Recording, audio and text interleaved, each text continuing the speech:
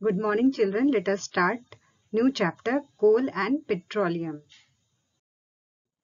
We use various materials for our basic needs. Some of them are found in nature and some we have made by human efforts. So these are known as resources. Or we can say all things which are obtained from nature are called natural resources. Now natural resources can be classified as inexhaustible and exhaustible resources. And exhaustible can also be um, reclassified as renewable and non-renewable resources. Now resources can be broadly classified into two kinds, inexhaustible and exhaustible resources. Those resources which are present in unlimited quantity in nature and are not likely to be exhausted by human activities. Example, sunlight, air, etc. And exhaustible resources are those resources, the amount of uh, those resources in nature is limited. They can be exhausted by human activities. Example, forest, wildlife, mineral, coal, petroleum, natural gas, etc. Natural resources like coal, petroleum, natural gases, they are formed from the dead remains of living organism or fossils. That is why they are known as fossil fuels. You might have seen the coal.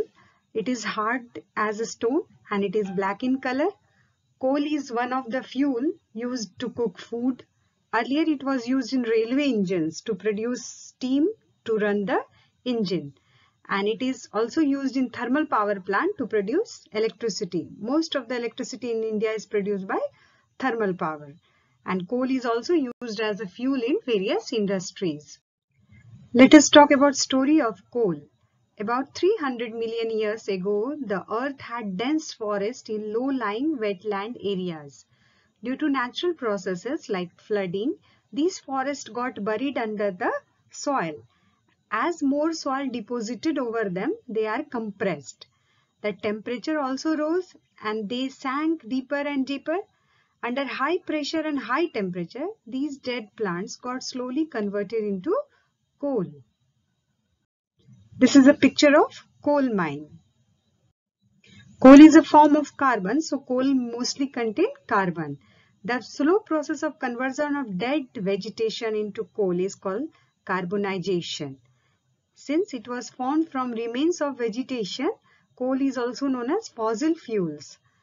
When heated in air, coal burns and produces mainly carbon dioxide. Coal is processed in industry to get some useful products like coke. It is tough, porous and black substances. It is almost pure form of carbon. Coke is used in manufacture of steel and in extraction of many of the metals. Another product of coal is the coal tar. It is black, thick liquid with unpleasant smell. It is mixture of about 200 substances. Products obtained from coal tar are synthetic dyes, drugs, explosives, perfumes, roofing material, paints, etc. Naphthalene balls used to repel moths, moths in our house and other insects are also obtained from the coal tar. Coal gas is another product obtained during the processing of coal to get coke. It is mostly used as a fuel in many industries situated near the coal processing plants. Petroleum is another natural resources. Petrol is mostly used as a fuel in light automobiles such as motorcycles, scooters and cars. Heavy motor vehicles like trucks and tractors run on diesel. Petrol and diesel are obtained from a natural resources called petroleum or rock oil. Let us talk about formation of petroleum. Now petroleum was formed from organism or living organism in the sea. As these organisms died, their body settled at the bottom of the sea and got covered with layer of sand and clay. Over millions of years, absence of air, high temperature, high pressure transformed the dead organism into petroleum and natural gas. Here you can see the reservoir of rock where petroleum is formed and natural gases above the petroleum. Petroleum is a dark oily liquid. It has unpleasant odor. It is mixture of various constituents such as petroleum gas, petrol, diesel, lubricating oil, paraffin waxes, etc. The process of separating the various constituents or fractions of petroleum is known as refining. It is carried out in petroleum refining refinery by fractional distillation process. This is the table showing the various constituents of petroleum and their uses. You can see liquefied petroleum gas LPG. LPG gas cylinder you all are well acquainted with this word. Liquefied petroleum gas. It is fuel for every home and industries.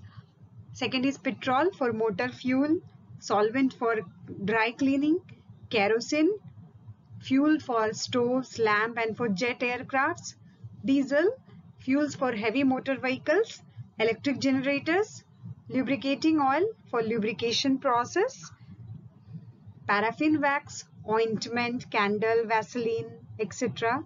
and bitumen, paint, road surfacing, etc.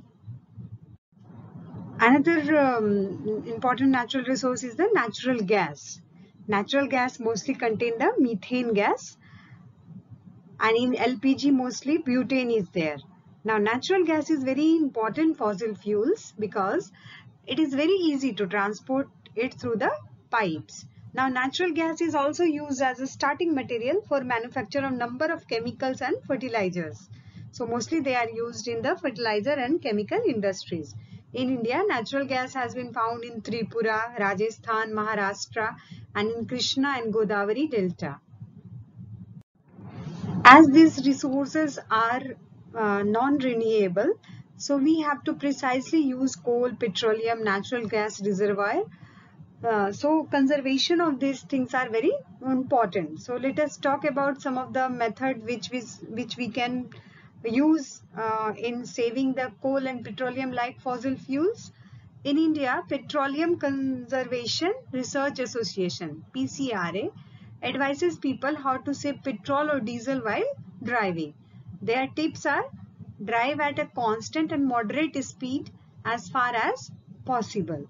Switch off the engine at traffic lights or at a place where you have to wait or ensure correct tire pressure also ensure regular maintenance of the vehicle.